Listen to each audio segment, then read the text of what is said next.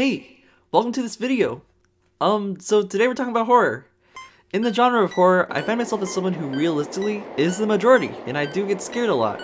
It's going too slow for my comfort, everybody. Uh, hello! Hi! I thought since it's spooky month, well I might want to take the opportunity to talk about it while it's still October. Let's create a point. What what's my point on horror games? I think that my main point is that I find them scary, as many people probably do. I don't think this counts as a tier list, but I think we might want to have a little tier list on the side while we talk about some of our horror topics. So let's start off with Five Nights at Freddy's. In all honesty, FNAF was my first horror game, and this is probably why I am the least afraid of these animatronic peeps. In Five Nights at Freddy's, the animatronics can get kinda quirky at night, and just try to run after you, attempting to fit you inside of an animatronic suit. And in the process, you get all squishy in that in that suit, and it, it kind of hurts, so doesn't sound so pleasant. I think it's just me, but these guys aren't too scary, and they still aren't like they don't look. They look mildly friendly. Also, death is 100% preventable in these situations. I'm not saving Blu from the animatronics that are keeping him captive.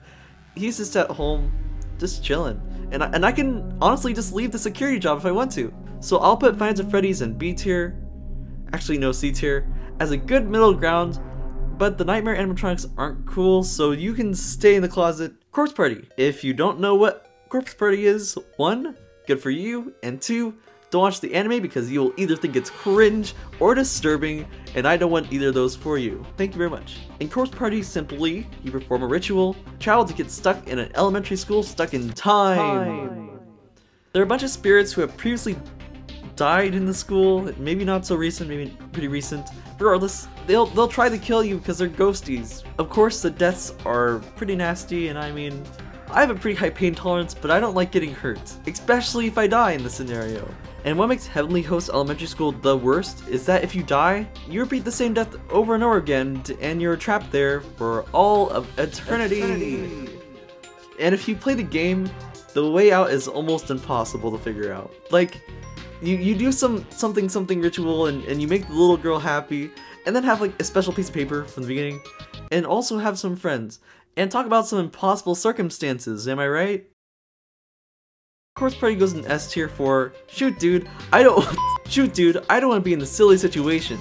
Little Nightmares. In Little Nightmares, you're a little person working your way to escape out of this big place with big scary people looking monsters. To be honest, they look a little bit silly, not gonna lie, but I also think that being a tiny person constantly fleeing away from the monsters is also pretty terrifying. But at the exact same time, I think that escape in this environment isn't so dreadful and it's definitely possible.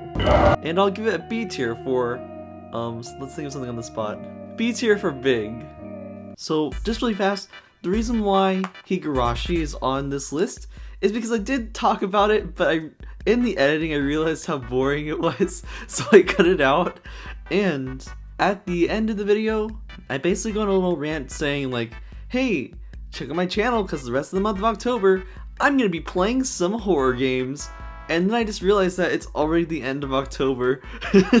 so, uh, I guess that means, hey, check out my channel because I guess now we're playing it some mid-November. Uh, thank you so much for watching this video. I know it's a bit short, but I promise, after getting more experience playing more horror games and more stuff like that, I promise to continue this video in the future. So, thanks so much, and I'll see you guys next time.